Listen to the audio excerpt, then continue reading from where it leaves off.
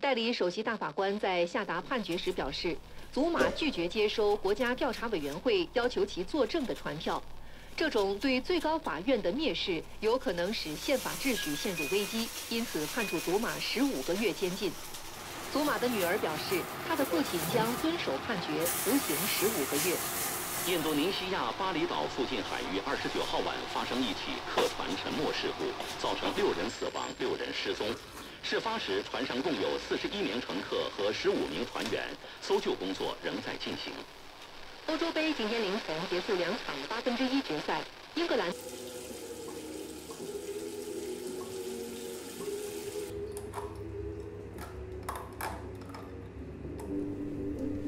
这是新闻和报纸参照节目。All because I was standing in an elevator in Tokyo and this handsome captain walked in and on his way home to Elizabethtown. facial mask. Facial mask. Facial mask. I forgot to pick up. On your face green because I forgot to put this one on her face. I love you. This is for you. Your favorite song on a Saturday night.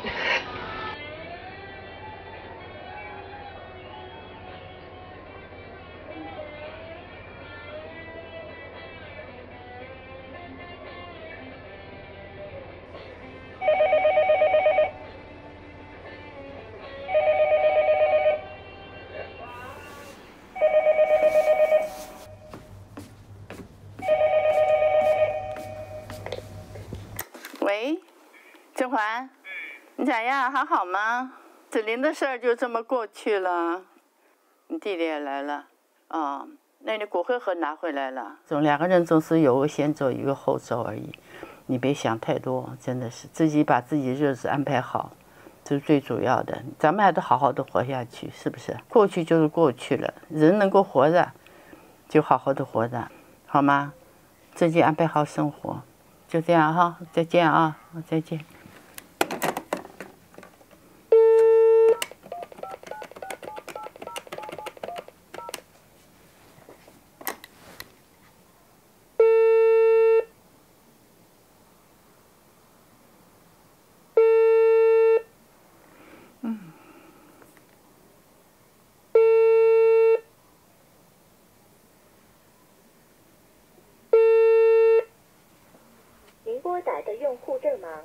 将会收到您。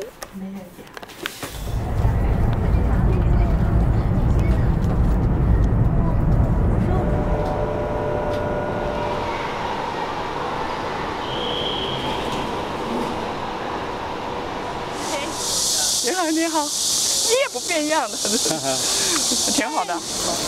你们都挺早的，挺积极的。咱们到九十几岁不是少的了，你俩讲这个人？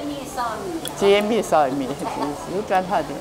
张照片里面没我的，没我。他说这个片子是我。那是你了，我是你。这个哪里是我了？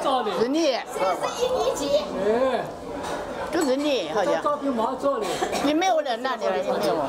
那你没有了，隔离呢？哦哟，这样不认识。哎，对对。这样不认识。我一个个都认识。他妈有真理。有真理没有？王这样，你你们现在说话。我几个桌子，哪个来说话我都听得出，这个东西叫啥？厉害厉害厉害！哎，好，这是杭州的特色菜。来来来，我们一起碰杯。来，好。祝人家身体健康啊！健康第一，健康第一。大家都有八十岁的想啊！啊，对，对吧？我们都为健康改变，然后也认为我们六十多年的同学情。干杯！大家健康，大家健康最主要，没有健康没有。今天这样聚会还挺开心的。哦，确实真的挺开心的。你更喜欢上海还是杭州？杭州，这是难以磨灭的记忆。我出生在上海，我五岁的时候被送到杭州。那时候后来我母亲好像很快也从上海过来了。那时候我们都跟我伯父伯母、祖父生活在一起。我们住在一个皮市巷里面，有一套房子是我祖父的。我们住在后厢房，我记得很清楚。嗯，我觉得不到半年的时候，嗯，有一天我放学回来，他突然就不在了。那一天他没有回来，那我自己一个人又担心又害怕。完了第二天他也没有回来。后来过了两天，他给我祖父写了封信，他是因为跟父亲关系不好，他出走了。但他出走前一天，我记得他带着我去照相，完了旁边还有个男的叔叔，我不认识。后来我才知道他去了台湾了。小时候的生活怎么说呢？应该说，哎呀，没有父母的的生活是，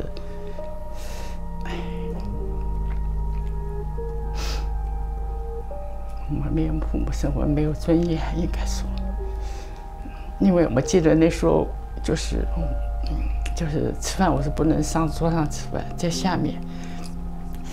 完了，我大妈大伯就煎点菜给我在下面吃，就是这样的。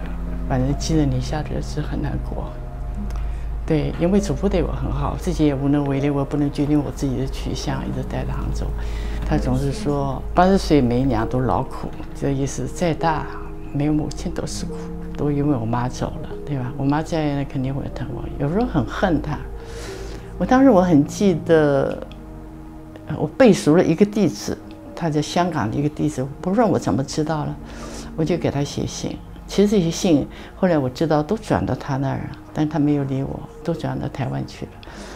我到现在都知道的，香港中环云贤街 B 三十幺波士顿洗衣店，就我记住这么一个地址，我就给他写信，给他写信说什么时候你能回来啊？怎么样？但是我从来没收到过回信。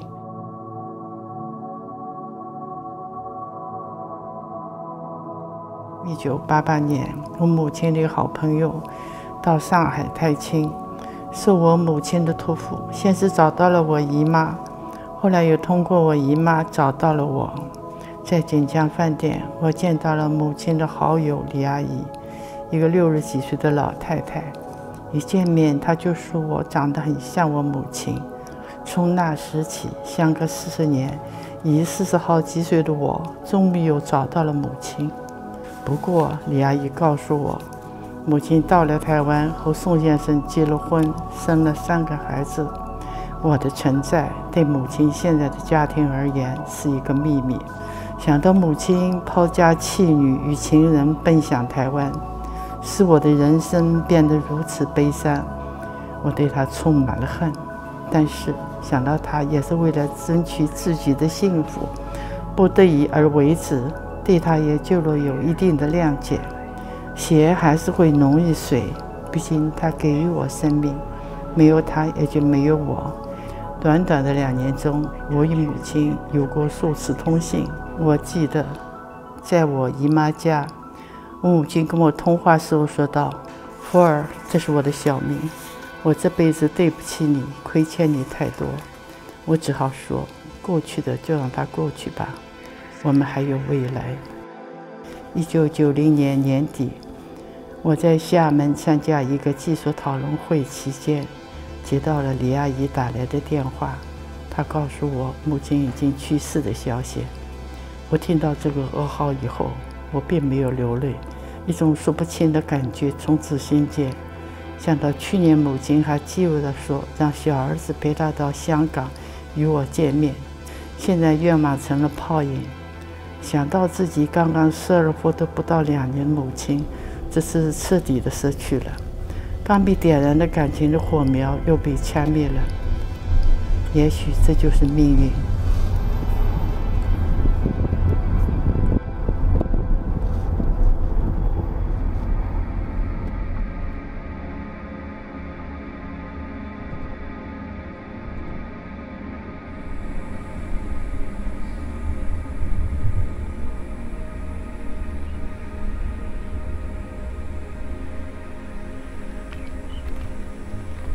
这一生里面经历了这么多事情，到现在还是孤独一生。有时候想想，不禁的有点黯然。看到别人拖家带小、儿孙满堂的情景，心里不然暗暗的为自己感到难过。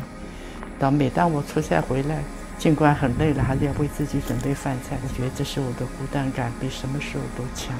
上帝对我太不公平了，为什么要遭受这样的命运？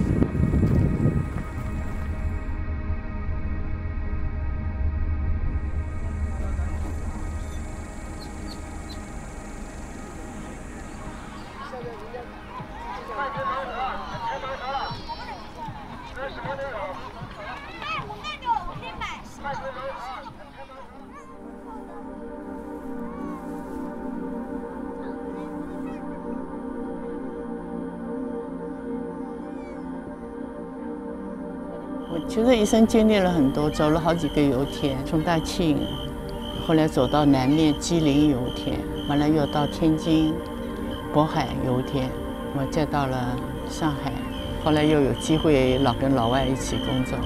我想我后二十年的生活，至少证明了自己自己存在的价值，而且给社会做了些贡献。有时候想，哎，到底孤单是什么？是好的还是坏的？褒义还是贬义？那肯定还是贬义的，因为我一直孤单，从小到大一直到老。我儿子的去世对我打击是挺大的，他突然去世，就突击性肌梗发，在打篮球的时候突然去世。因为我在世界上真正的亲人真的很少，儿子就是唯一的亲人。有的时候你会感觉到，哎呦，我好孤独；有时候感觉到。我现在什么都没有，真的是孤家寡人，真的会这么想。但反过来，后来又想想，哎，这个比我苦的人有的是，至少我还活着，我要活就好好的活下去。人的一生就像一条河流一样，年轻的时候激流勇进，完了慢慢就平和了，最后就是变得河满湍了。所以生死本身就是生的一部分。如果你想通了这一点，你对这些就是了。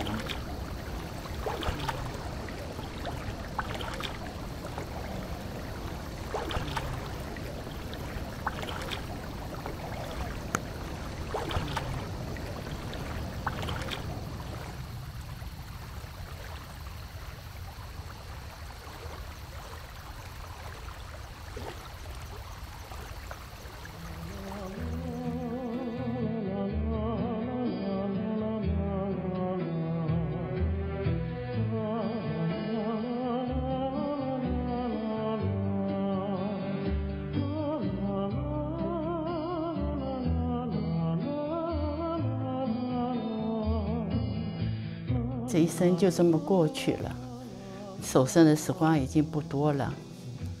我想对自己说什么呢？有没有辜负这一生呢？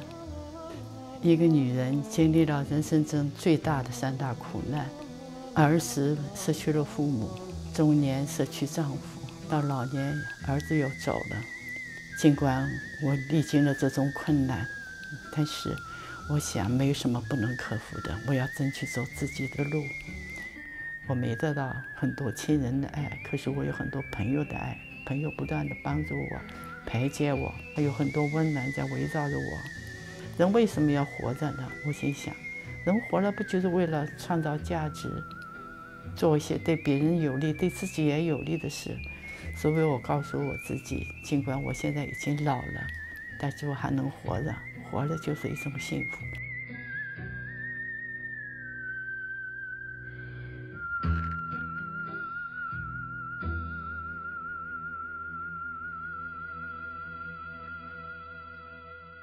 唱个小小的俄文歌。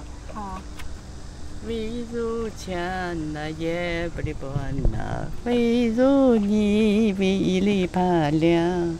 爱的路是个也不离不那，爱的路比那么呀。OK。是唱什么意思？就说有对情侣行走在一个小路上，小路两边都有花花草草。他们一边走一边欣赏旁边的景色，觉得生活真是很美好。